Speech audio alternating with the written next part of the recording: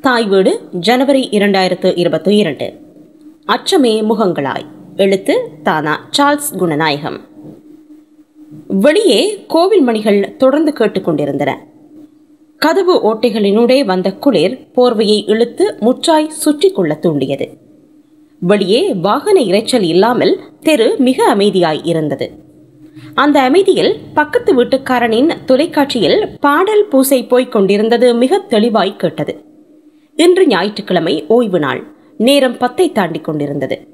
போர்வையை விலக்கி கலண்டு போய் கிடந்த சாரத்தை தூக்கி கட்டிக்கொண்டு எண்ணல் அருகே இருந்த மேசை வரை போனேன்.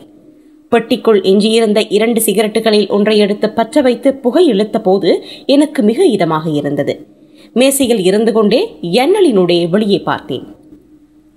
இரவு முழுவதும் கொட்டிய பனி வெண்மையாய் படர்ந்து கிடந்தது. நேற்று மொட்டையாய் நிமிர்ந்து நின்ற கஸ்தானியன் மரங்கள் பனியாய் பூத்து வடிந்தன. தெளிவாய் எரித்துக் கொண்டிருந்த சூரிய கதிர்கள் பட்டு படர்ந்திருந்த பனி பளிங்குகளாய் மினுங்கிக் கொண்டிருந்தன. தெருவோர நடைபாதையில் வயோதிப தம்பதியினர் இருவர் கைகோர்த்து நடந்தனர். அவர்களது பேச்சும் மூச்சும் நீராவியாய் தெரிந்தது. அவர்களின் நாய்கள் பனியை கிளறி மணந்து மணந்து மலம் இறக்க அலைந்தன. பாதையில் ஒருவன் தேக அபியாசத்துக்காக ஓடிக்கொண்டிருந்தான்.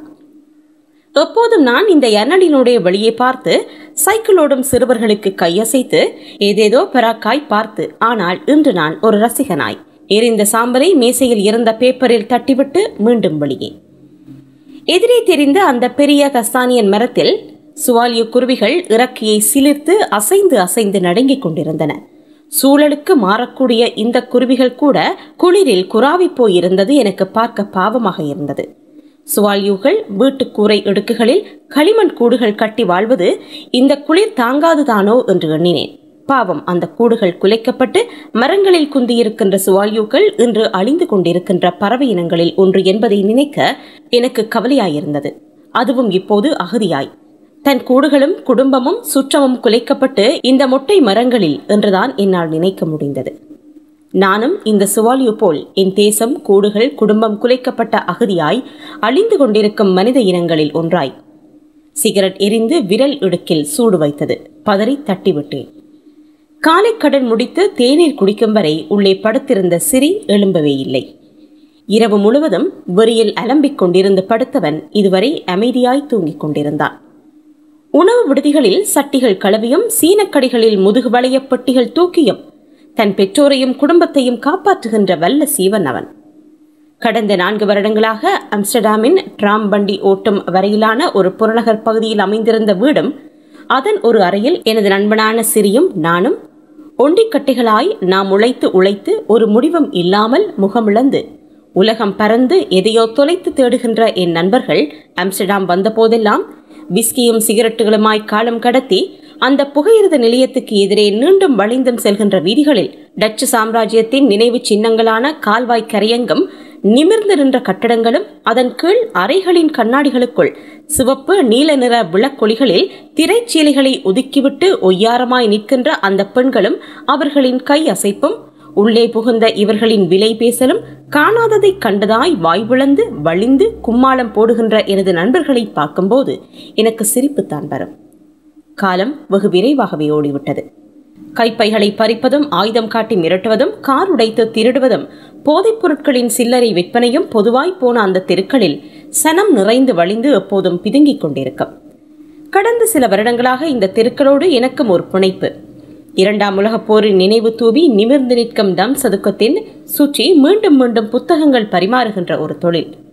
சிறு வயதிலிருந்தே சித்திரமும் எழுத்தும் எனக்கு குட்டி குட்டி படிப்பித்த பிரகாசம் வாத்தியாரை கைகொடுத்த தெய்வமாய் நான் அடிக்கடி நினைத்துக் கொள்வேன்.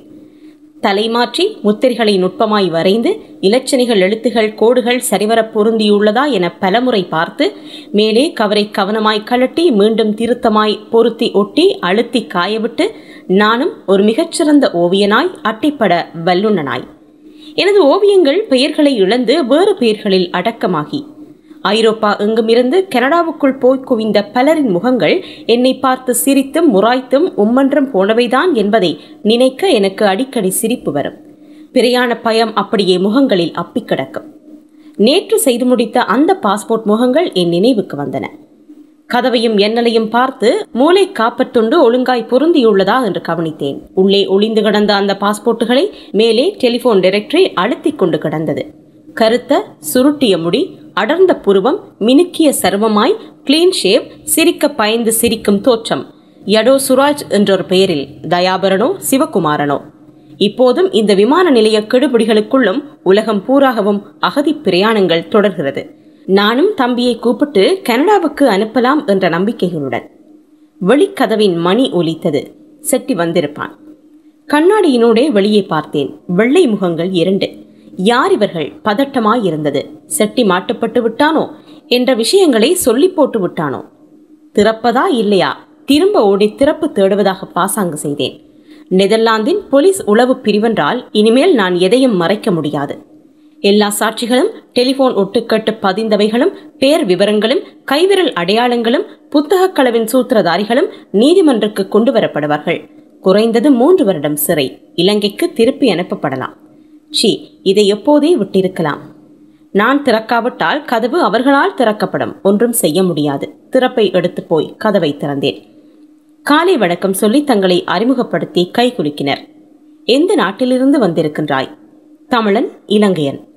காவற் கோபுரங்கள் என்ற தமிழில் தலையங்கமிட்ட இரண்டு புத்தகங்களை தந்து தாங்கள் எகோவாவின் சாட்சிகள் என்று என்னை மதம் மாற்றுவதற்கான பிரசாரத்தில் வாய் ஓயாமல் பேசத் தொடங்கினர். நான் நிம்மதியாய் பெருமூச்சு விட்டு என் ஆண்டவரே என்றேன்.